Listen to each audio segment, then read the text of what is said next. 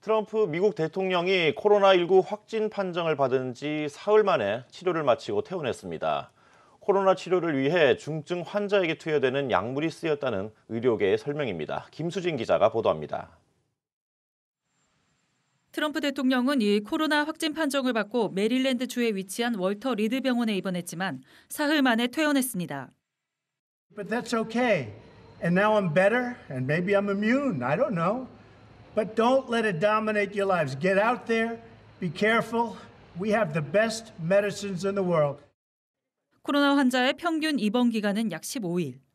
트럼프 대통령의 혈중 산소 포화도가 94% 이하로 떨어졌던 점을 감안하면 퇴원이 무척 빠른 편이라 치료법에 관심이 모아지고 있습니다. 김우주 고대 구로병원 감염내과 교수는 트럼프 대통령은 74세라는 고령 요인에 체질량 지수가 30이 넘어 쉬운 상황은 아니었지만 평소 건강 관리를 잘한 데다 대통령이라는 위치가 최선의 치료를 받게 했을 것이라고 말했습니다.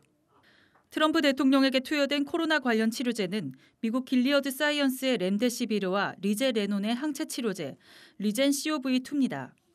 렘데시비르는 미국 식품의약국이 혈중 산소량이 떨어지는 등 중증 환자에게 사용했을 때 회복 기간을 4일 감소시키는 효과가 있다고 인정한 치료제입니다. 리젠 COV2는 코로나 바이러스를 중화하는 항체를 생성하는 B림프구 두 종류를 섞은 칵테일 치료제입니다. 전 세계 1만 5천 명을 상대로 지난 3월 19일부터 임상 3상을 진행 중이며 코로나 감염자 바이러스 수치를 낮춰준다는 초기 임상 결과가 발표된 바 있습니다. 또 트럼프 대통령은 폐렴 치료를 위해 스테로이드제인 덱사메타손 투여도 받았다고 알려졌습니다. 김우주 교수는 리젠 COV2 사용에 대해 허가받은 약물은 아니지만 코로나19 같은 눈에 띄는 치료제가 적은 특수 상황이라면 임상 참여자가 아니더라도 의사가 해당 약물이 필요하다고 요청하는 동정적 사용 프로그램을 통해 참여할 수 있다고 말했습니다.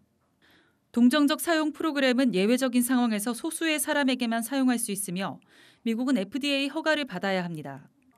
트럼프 대통령 의료진이 선택한 만큼 긴급 사용 승인, 동정적 사용 요청이 대폭 증가할 것이란 전망도 나오고 있습니다. 한국경제TV 김수진입니다.